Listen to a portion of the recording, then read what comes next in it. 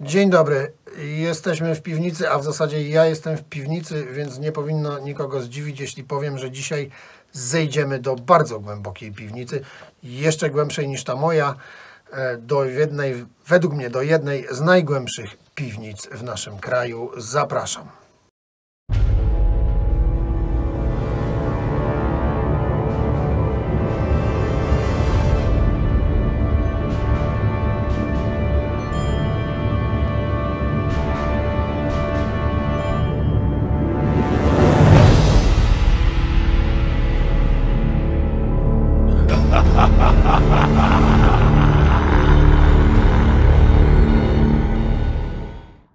Ta jedna z najgłębszych piwnic w naszym kraju mieści się w Krakowie i e, od 2017 roku e, rezyduje w niej e, Cadaveric Possession.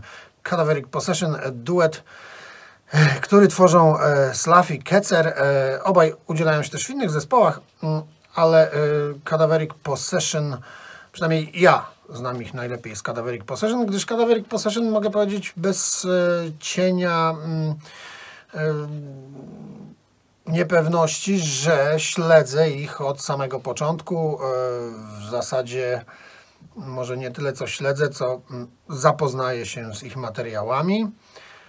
E, Jest to o tyle e, wygodna rzecz, prosta i nie wymagająca wielkiego wysiłku, że Cadaveric Possession od 2017 roku w zasadzie gra to samo. Co z jednej strony oczywiście ja jak najbardziej szanuję i doceniam, z drugiej strony niektórych może to odrzucać, ale myślę, że chłopaki z Cadaveric e, mają e, na ten temat e, bardzo sprecyzowane zdanie, czyli nie bardzo ich to interesuje, podejrzewam, bo oni grają to, co kochają i to też zresztą słychać na każdym ich wydawnictwie. A wydali do tej pory dwa pełniaki, dwa splity bodajże, epkę, demo, no i teraz przyszedł czas na trzeciego pełniaka. Ostatnio trochę y, przyspieszyli, no bo rok temu był pełniak, teraz też jest pełniak. Putrid Cult to wydał e, The Demise of King Yima. To jest najnowszy pełniaczek Cadaveric Possession. E, Wygląda on jakoś nie jakoś bardzo imponująco. Okładkę robił Lord K z Necrofag. E, Wydanie jest dosyć skromne. Są e, w środku jest wkładka, ale też ona nie jest zbyt obszerna. Proszę bardzo, tak to wygląda. Charakterystyczne logo Cadaveric Possession, które tutaj się zmieściło. No, na froncie pewnie by nie pasowało za dobrze. 9 utworów, 36 minut, o ile ja dobrze pamiętam. No, Owszem, dobrze pamiętam. 36 minut i 9 utworów. No w przypadku Cadaveric Possession nie wiem, wymienianie ilości utworów, e, czy w ogóle jakiekolwiek próby rozbijania tego na jakieś poszczególne utwory, czy omawiania poszczególnych utworów, to jest w ogóle mija się z jakimkolwiek celowaniem, bo Cadaveric Possession swoje kompozycje utrzymuje w tym samym klimacie. A mianowicie no, jest to bardzo piwniczny, bardzo podziemny metal. Czemu metal, nie black metal? Bo y, Cadaveric Possession y, w moim odczuciu to zespół, który hołduje starej szkole y, grania. Kiedy jeszcze ten podział gatunkowy nie był taki wyrazisty, kiedy nie określało się każdego black, death, trash, black death i tak dalej, no to już w ogóle potem weszły te hybrydy, tak, ale y, nie było tego rozbijania poszczególnego, tylko się po prostu grało ekstremalną muzykę, ekstremalny metal.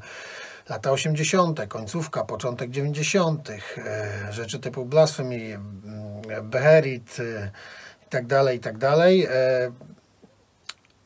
I takiemu graniu według mnie hołduje Cadaveric Possession. Oczywiście możemy bez cienia wątpliwości stwierdzić, że black metal jest tutaj dominującym składnikiem ich grania. Bluźnierstwo, e, plucie na świętości i tak dalej, brud, e, prymitywizm w pewnym stopniu, prostota tych kompozycji. To jest bardzo uderzające. E, Ja zresztą ogólnie rzecz biorąc właśnie się złapałem słuchając tego e, Demise of King Yima. Niedawno sobie słuchałem nowej Profanatiki, która też jest zresztą bardzo fajna, ale Profanatika to też taki zespół, oczywiście jest to legenda ze Stanów, ale to też taki zespół, który trzyma się tej swojej bluźnierczej, prostej, prymitywnej wręcz momentami, e, brudnej ścieżki. I trochę to ich granie właśnie e, przypomina mi nasz Cadaveric Possession, albo odwrotnie, nasz Cadaveric Possession przypomina mi trochę Profanatikę.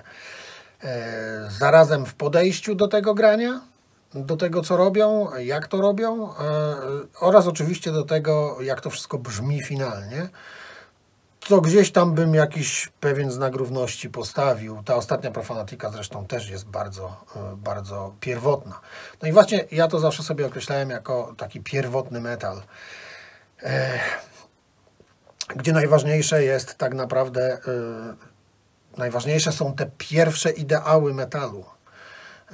Tutaj nikt nie stawia na, specjalnie jakoś na atmosferę, na klimat, na podniosłość, na jakieś, e, wiecie, zaznaczanie ideologiczne tego wszystkiego. Oczywiście ta ideologia, tutaj jest, bo dla Cadaveric Possession to jest na pewno gdzieś tam ważne, co można wnioskować po tekstach, e, ale tutaj przede wszystkim pierwsze skrzypce e, gra naturalność, prostota, ale prostota nie taka, że w pejoratywnym sensie, tylko jest to prostota po prostu granego od serca metalu. Ok, black metalu, powiedzmy. Natomiast to jest najważniejsze. E, nie interesuje tutaj nikogo zabawa w jakiekolwiek smaczki, w jakiekolwiek bogate aranże i tak dalej, i tak. Nie, kompozyty są proste, czasami toporne. Motoryka jest prosta, czasami toporna, czasami chwytliwa, ale rzadko. A nawet jeśli jest chwytliwa, kiedy wydaje Ci się, że o, fajnie, jest fragment, że sobie naprawdę mocniej tupnę nogą i zaraz tutaj sobie pomacham włosami, to to się zaraz zmienia w coś naprawdę bardzo dzikiego, pierwotnego, szalonego. Ech Tutaj e, przede wszystkim to wszystko, całość tego materiału i w ogóle cała twórczość Cadaveric Possession, bo mówiąc o e, najnowszym albumie, to tak jakbym mówił o całości Cadaveric Possession, ich twórczości. Pierwsze skrzypce odgrywa e, naturalność, dzikość, pasja, to, co budowało metal na początku. Zero kalkulatora, kombinatoryki i e, tworzenia jakichś nowych ścieżek, e, wymyślania czegoś, eksperymentowania. Tutaj wszystko już kiedyś dawno zostało zagrane, ale twórcy e, kochający właśnie to, co kiedyś zostało zagrane, swoją twórczością oddają hołd.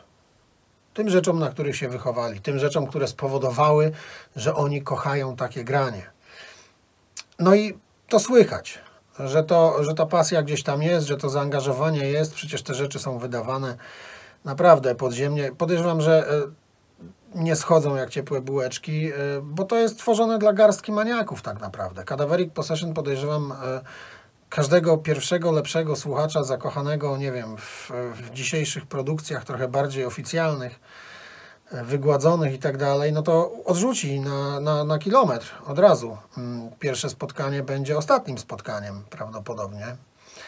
Bo to jest zupełnie inny rodzaj grania. To jest po prostu e, ten staroszkolny, e, naturalny, brudny, piwniczny metal, w którym emocje są najważniejsze, emocje i szczerość. I, i za to Cadaveric Possession bardzo cenię i Demise of King Lima jest y, kolejnym etapem e, tego jakby spłacania